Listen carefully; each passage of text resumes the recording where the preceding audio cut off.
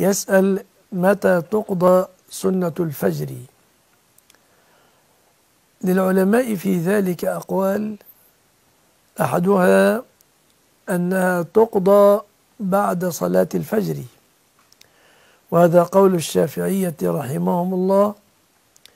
ومما يؤيدهم أن النبي صلى الله عليه وسلم نهى عن الصلاة بعد العصر حتى تغرب الشمس وبعد الصبح حتى تطلع الشمس لكن صلى سنة الظهر لما فاتته صلاها بعد العصر. فمع أن وقت الظهر انتهى لكن صلاها بعد العصر في وقت النهي.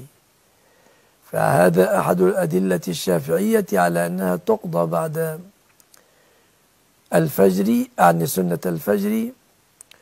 واستدلوا كذلك بحديث الرسول صلى الله عليه وسلم من نام عن صلاة أو نسيها فصلاتها حين يذكرها.